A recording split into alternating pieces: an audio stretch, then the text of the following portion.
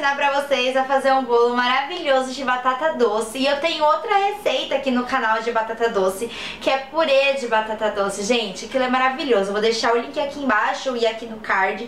Então, vamos aprender a fazer esse bolo de batata doce com coco Que fica muito, muito, muito bom. Bora conferir. Os ingredientes são uma batata doce meia, dois ovos, uma colher de sopa de margarina, meia xícara de açúcar, uma xícara de farinha, um pote de iogurte, fermento, uma xícara de coco ralado fresco.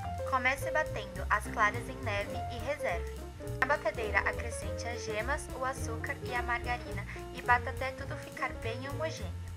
Em seguida, acrescente a farinha e iogurte aos poucos. Coloque a batata doce já bem amassada para não ficar nenhum pedacinho na hora de bater. Ela vai deixar a massa bem homogênea, bem lisinha. Acrescente o coco ralado. Aqui eu preferi colocar o coco fresco, mas você pode colocar o coco seco. Agora iremos colocar a clara em neve aos poucos, que reservamos lá no início da receita. Lembrando que você tem que mexer bem devagar, porque senão você vai acabar com ar e não vai ter adiantado nada. E em seguida você vai colocar o fermento e vai mexer do mesmo jeito, bem lentamente, para que ele não acabe com o ar que fizemos com a clara em neve. Leve ao forno pré-aquecido a 180 graus de 30 a 45 minutos. Ele vai crescer bastante e vai dar uma murchada, mas é normal. O que importa é que ele vai ficar super cremoso e macio.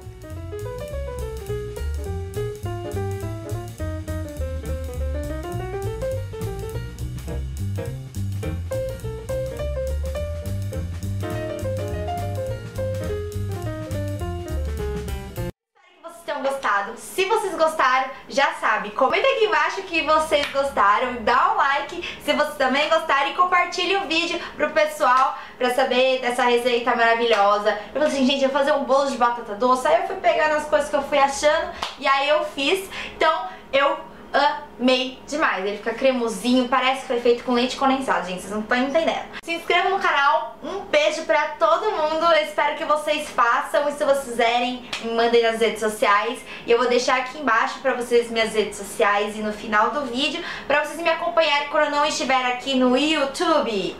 Um beijo no couro de todo mundo. Até a próxima e falou!